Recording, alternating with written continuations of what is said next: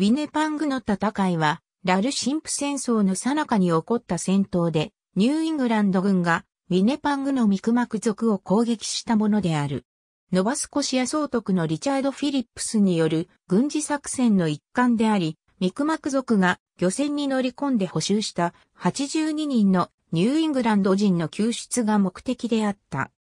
ニューイングランドの指揮官はジョン・ブラッドストリートと漁船の船長であるジョン・エリオットだった。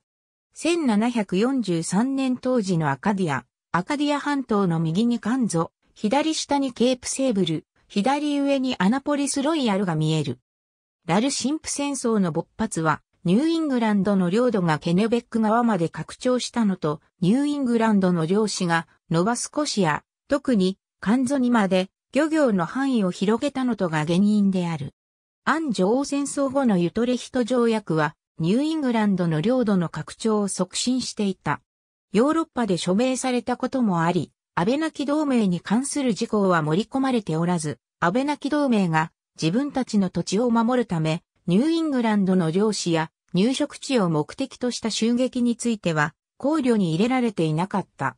安倍なき同盟にとってフランス軍の利益を中心に守るのではない戦い、彼ら自身への待遇と彼ら自身の事情によるニューイングランド、そしてイギリスとの最初にして唯一となる戦いが始まろうとしていた。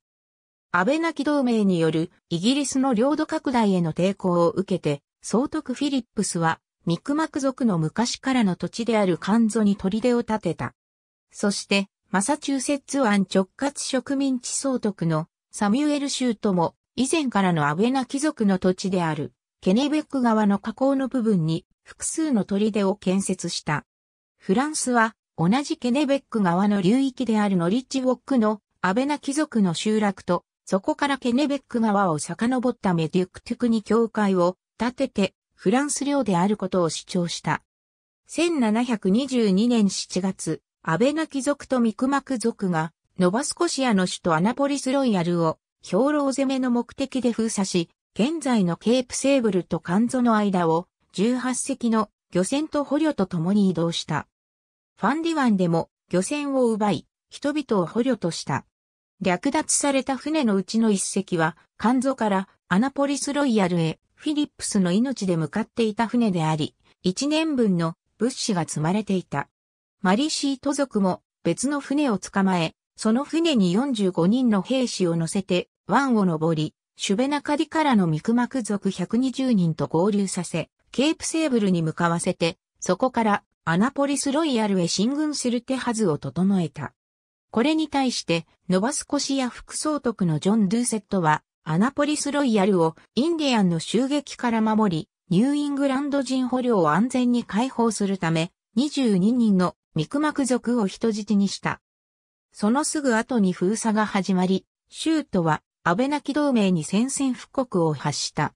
ファンディワンを行く、ミクマク族のカヌー、1770年頃のエッチング、ラルシンプ戦争が宣戦布告された。直後の1722年7月22日、フィリップスは肝臓の漁業を守り、ニューイングランド人の捕虜を救い出すため、大尉のジョン・エリオットとジョン・ロビンソン、そしてその連隊を2隻のスループ船で送り出した。ウエストジェドアの近くでは、ミクマク族が野営を張っていた。ウィネパングには39人のインディアンがいて、7隻の船に捕虜たちを乗せていた。港にいたエリオットとブラッドストリートの攻撃により、ニューイングランドとアベナキ同盟の2時間に及ぶ海戦が火蓋を切った。ブラッドストリートは、艦上の兵を総動員して、手投げ弾と一斉放火でインディアンたちを圧倒した。ニューイングランド軍は5人の兵が戦死し、多数名が負傷した。負傷者の中には、重傷を負ったエリオットもいた。ミクマク族が泳いで逃げようとしたため、ニューイングランド軍は彼らに放火を放った。これで35人のミクマク族が死んだ。ニューイングランド軍は、なんとか15人の捕虜を助けようとして、彼らを探しているうちに、9人が戦死した。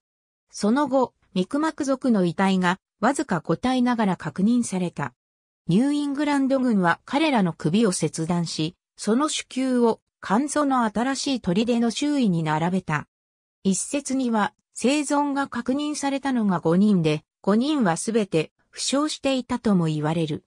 ゼドアハーバーの近く、クランベリー島の東大この軍事作戦では、捕虜を取り戻す以外にも、ニューイングランド軍のジェームズ・ブリンが、肝臓の捕虜と24人のニューイングランドの領主とを交換するための交渉を行った。また、ニューイングランドの大尉のロビンソンは遠征を行い、10隻の漁船を拿捕して、3人のアベナ貴族を殺した。ロビンソンは、ミクマク族に、アナポリスロイヤルの人質はまだそのままにしているので、ニューイングランド人捕虜を傷つけないように警告した後、マラガシュハーバーに到着した。そこにはインディアンたちが奪った漁船が5隻あり、20人の捕虜がいた。ロビンソンは身代金を払って捕虜と船とをすべて解放した。やはり大尉のシプリアン・サウザックは、肝臓海峡でミクマク族を一人殺し、他の5人を捕囚した。戦闘後、16人のインディアンの捕虜は、ニューブランズウィックのリチブクトに送られた。ありがとうございます。